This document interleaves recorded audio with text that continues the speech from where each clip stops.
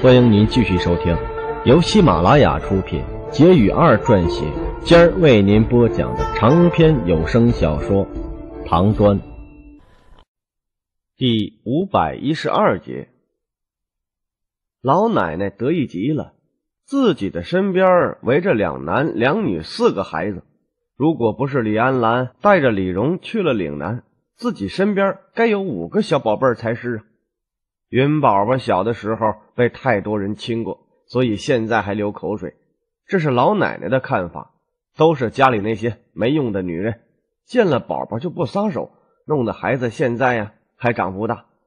男孩子不能长于妇人之手，老奶奶知晓这个道理，可是就是舍不得。云木正在揍自己的旺财，刚才旺财拿大舌头舔了哥哥一下，因为他觉得。这个胖孩子的口水很好吃，可是这个动作吓坏了云寿啊！可是大狗就在一边不走了，又不敢哭，只好向妹妹求助。至于两个小的，早就被奶娘抱得远远的，见到吐蕃人就抓住，把腿打折。这是云家庄子一条新规矩，老奶奶亲自给老姜吩咐的。所以这两天呢，只要看着像胡子的人，都要被问好几遍。眼珠子饿绿了，那也要问问是不是吐蕃人。这就是没见过吐蕃人的下场。二管家老方悄悄的给老姜解释：这吐蕃人呐，也是黑眼珠、黑头发、黄毛、红毛、花毛的，那肯定不是吐蕃人。云木喜欢骑着旺财满院子溜达，云寿也想骑，可是只要爬上狗背，旺财就会立刻躺下，不愿意让他骑。拿好吃的贿赂也不行。一到晚饭的时间呢，家里最积极的那就要数云木了。丫头说一下，不论他在干什么，都会高高兴兴的洗干净手，戴上围脖，手里抓着叉子，坐在自己加高的椅子上等待着开饭。就为这个，老奶奶又臭骂了那日木一顿。好好的大家闺秀，硬是在草原上混成了饥民，所以呢。这两天啊，变着花样的做好吃的给云木，让他胖嘟嘟的小脸又变圆了几分。云家人吃了亏，自然要告状。长安县衙、大理寺都有云府管事递交了诉状，先把事情说出去，免得云家打断吐蕃人的腿的时候说长安人欺负他。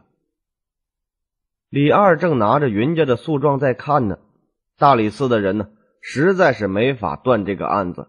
只能上交到皇帝手里。吐蕃大象的使者团正在来长安的路上，如果不是好几次都走错了路，到了洛阳，现在呀，说不定已经进京了。李二非常重视和吐蕃的关系，一直以来，这个高原上的民族就是以彪悍著称于世，早就想在两个国家之间建立一条可以有事商量的渠道。可是松州之战。把吐蕃人的胆子吓破了，缩在高原不下来，自己实在是啊有力难施啊。那现在好了，吐蕃的二号人物从高原上下来了，天大的好事啊！可惜一下山就把云家给得罪光了。以李二对云家的了解呀，这件事绝对不会就这样轻易的接过。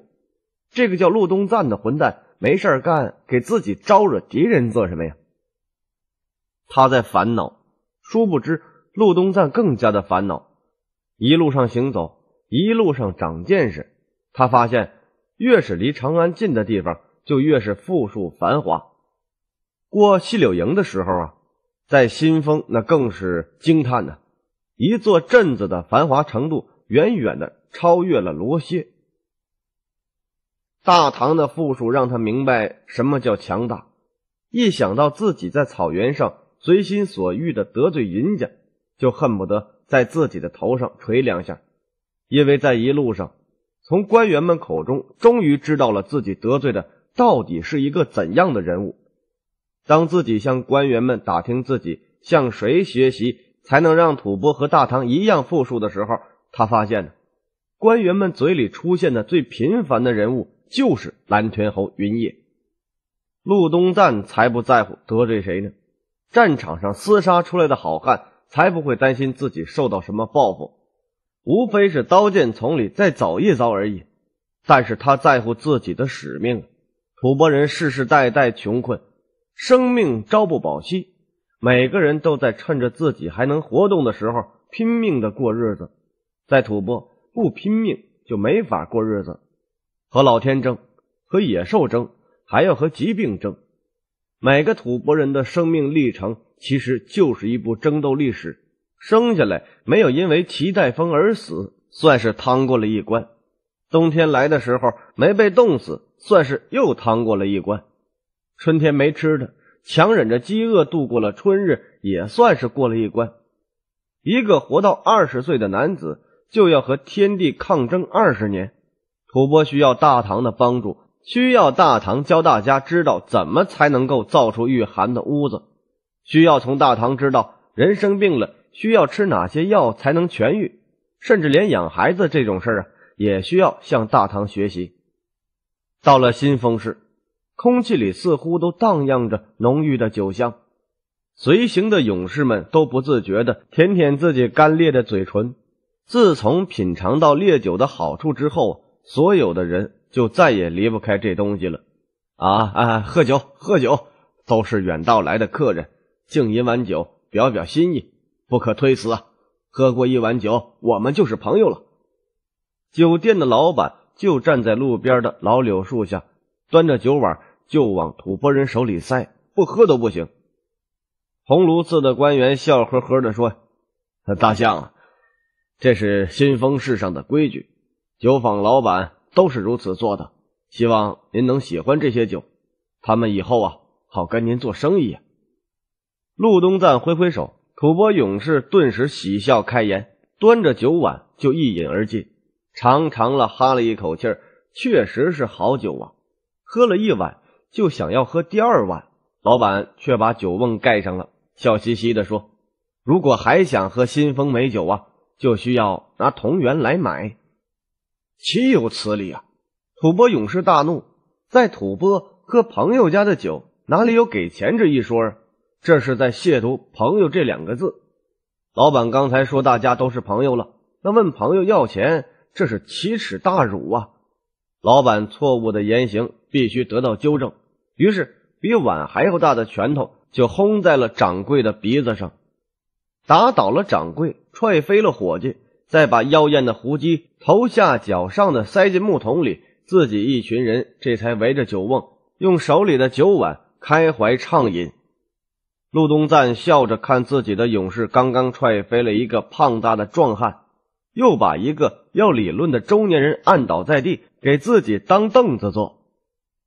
大象，这里是大唐长安，过分放肆对您没有半点的好处。您已经得罪了云侯，这时候要是连地方官都要得罪光了，您的处境并不美妙啊！鸿胪寺的官员脸色开始变黑。如果不是因为来的时候被上官千叮咛万嘱咐的不允许出意外，说不定这会儿自己都会冲上去狠狠的揍吐蕃人。哈哈哈哈！吐蕃人愚顽，这是没有受到教化的缘故。如果大唐教会了他们如何为利益交换，我一定让他们给酒家赔礼，并且赔偿。吐蕃人闹得越来越大，一队人。对付长街上一大群唐人，拳打脚踢，板凳乱飞。可惜这些百姓如何能是这些百战余生的猛士相媲美？一拳打落了为首一个混混样子的牙齿，又一拳轰在了一个壮汉的脑门上，壮汉软软的倒在了地上。杀人啦！随着一声凄厉的喊声，原本看热闹的新丰百姓顿时就把自己手上的东西抛了出去。密密杂杂的杂物落在吐蕃武士的身上，烂菜叶子有之，鸡蛋有之，茶碗有之，最离奇的，居然还有一只活羊，被没看清楚的武士一拳就打的这只羊啊，肚皮都裂开了，肠肚鲜血流了一地啊！百姓们稍微一犹豫，立刻就更加凶悍的冲了上去，在家门口被人家痛殴，太难看，更何况还是一群吐蕃人。这让一向以侠义自称的新丰百姓彻底的暴怒了，扁担、秤砣、旗帜，啊，先前还担心自己啊呃，一不小心打死了吐蕃人会非常的麻烦。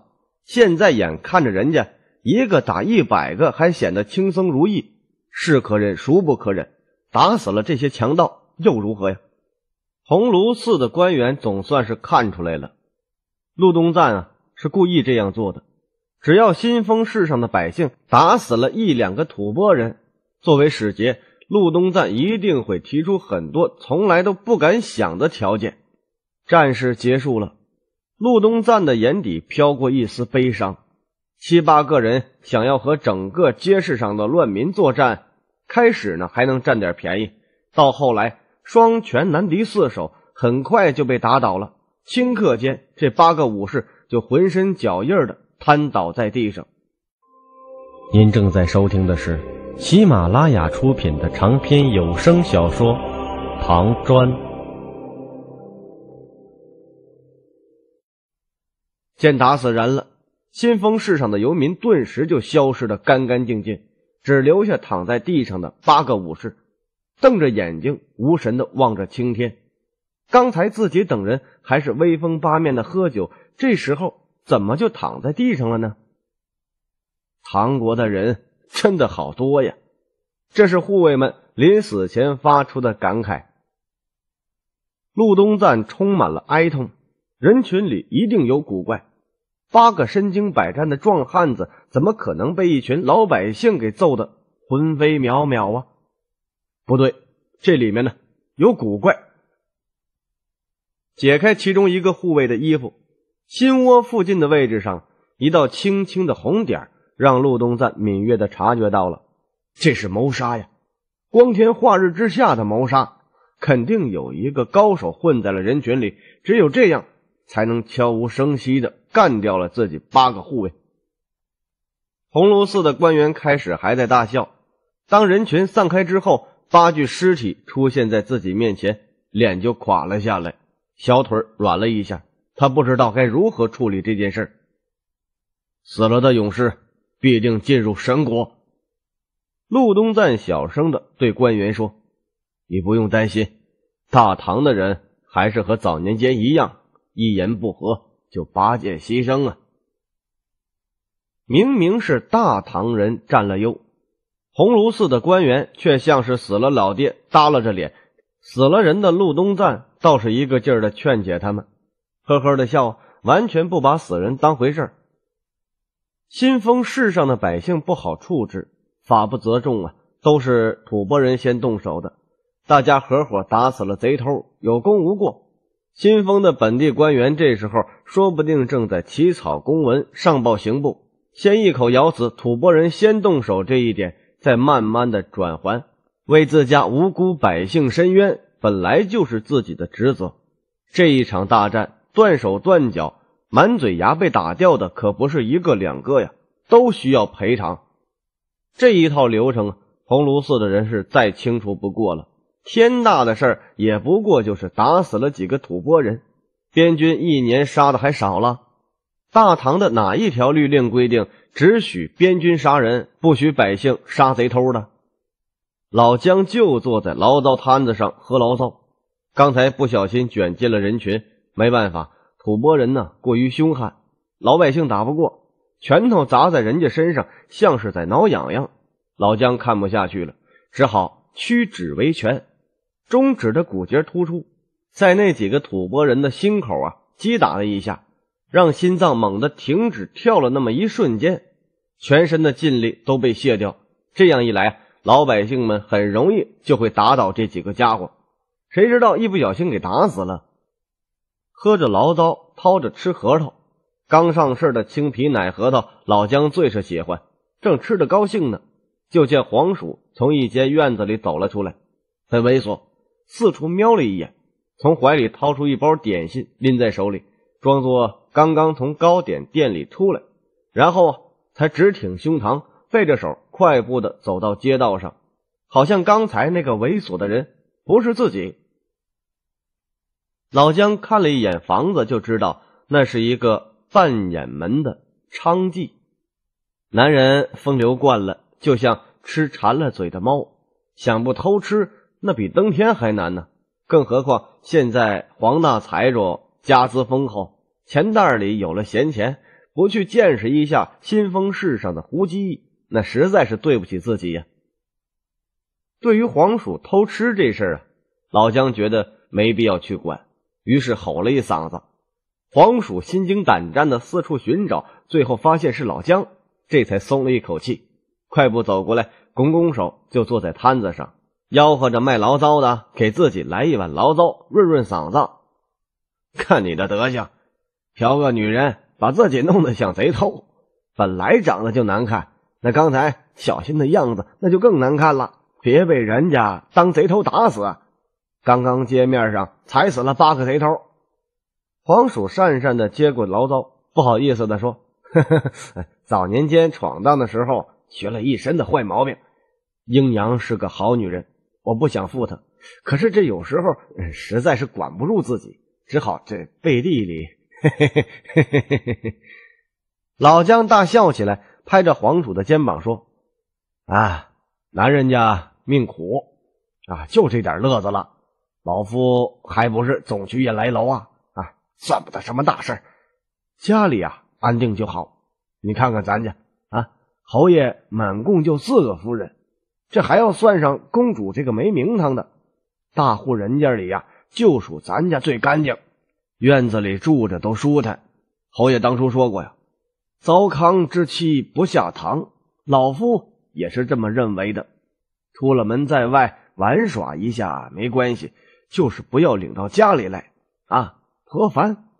云家庄子可没有这种笑话给别人看。黄鼠和老姜喝完了醪糟，骑着马经过细柳营的时候，突然发现吐蕃人的营地。老姜瞄了一眼，说：“嗯，领头的一定是一个支兵的。你看他们的营寨，法度森严。”屯兵就立寨，还把溪流里的水引到了营地里，挖了个大坑储存。这是在防备火攻。五百人的营寨算是坚固的了。兵库、粮库、辎重库都已经立好了。难道说这些吐蕃人要在这里常住，不进长安了？黄鼠的脸色古怪，掏出匕首就刺进了旁边一棵树的树干。硬是拧了半圈，抽出匕首闻闻，怪笑着对老姜说：“嘿嘿，老奶奶不是说了吗？要打折吐蕃人的腿，他们的人太多，咱们不好下手。如果把他们的钱财全部弄走，您以为如何呀？长安米贵，居之不易，没了钱财就等于没了腿脚。哼，很想看看吐蕃人讨饭的样子。你说我？”到时候是给还是不给呀？老姜的眼睛一下子就亮了，敲着马鞍子说：“你肯定？老夫说的是气话，哎，听听也就是了。折损了家里的人手，可就不值当了。”细柳营底下呀，曾经有一个汉代的墓葬群，当初家父啊，联合了六家盗墓贼，才算是打通了下面的甬道。吐蕃人的营寨。就算是啊，您说的法度森严，那也没用。我们从地底下过去，嘿嘿，只要您可以确定他们财宝的位置，嘿嘿嘿嘿，我就能在一夜之间把他们全部拿走，一个铜板都不给他们剩下。啊，如果还不满意，这地底下还有条暗河，被断龙石堵死了。